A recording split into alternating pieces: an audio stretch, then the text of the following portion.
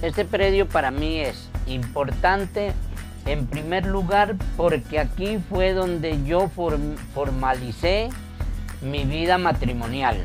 Digamos, me casé y nos vinimos aquí, aquí nacieron mis hijos, aquí se criaron y lo que más a mí me gusta es que esto viene por, por un esfuerzo que desde muy pequeño yo anhelaba tener un terreno. Y para mí es una gran alegría, una gran satisfacción tener el título de, de mi terreno porque mientras uno no tenga el título, no sabe si es de uno o de quién es. agradecer también a la Agencia Nacional de Tierras, quien está liderando esta, esta titulación de terrenos para los que no teníamos esa, eh, digamos, esa oportunidad de tener ese título.